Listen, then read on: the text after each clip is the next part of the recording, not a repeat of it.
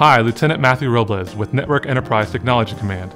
Here to invite you to come out on the 27th of July as Network Enterprise Technology Command invites you to enjoy the sounds of the 4th Infantry Division Jazz Combo during an evening performance at the gazebo in historic Brown Parade Field.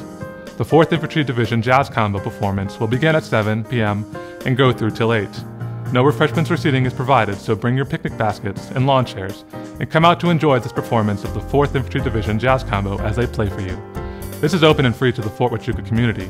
We hope to see you there.